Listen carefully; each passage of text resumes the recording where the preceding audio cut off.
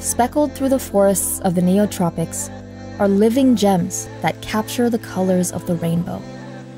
From Costa Rica to Bolivia, Ecuador to French Guiana, these living gems are harlequin toads, or Atelopus. Not only do they add beauty to our planet, but they form a vital link between freshwater and land. They support thriving ecosystems and are among the first to disappear when an ecosystem is in trouble. They are also deeply woven into cultures. In Panama, the Panamanian golden toad is a national animal.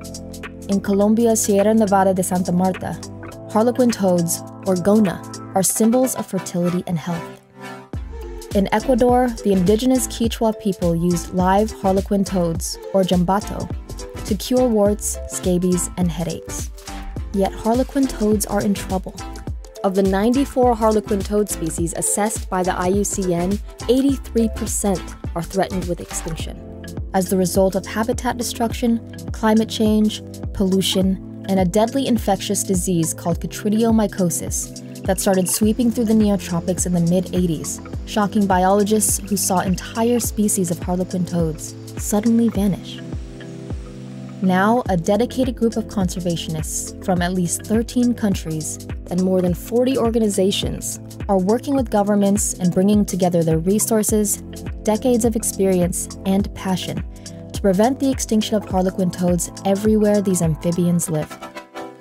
Not only is the Atelopus Survival Initiative finding innovative ways to combat the pathogen, like investigating the use of skin bacteria from healthy frogs as a shield for those at most risk, but the team is also protecting and restoring harlequin toads' forests and watersheds, removing invasive trout from their creeks, creating and maintaining conservation breeding programs, searching for species that are lost to science, and sharing stories that will transform harlequin toads into symbols of hope for the region.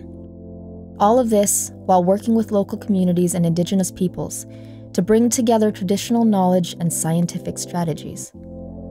By combining decades of experience in conservation work, the future is looking bright for this entire group of toads that brightens our world. Visit our website to learn and support this constellation of Harlequin toad champions.